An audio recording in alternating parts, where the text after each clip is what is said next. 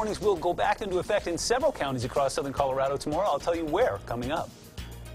The results are in months after a disturbing report on the quality of water and security in Fountain. The state's follow-up report is complete.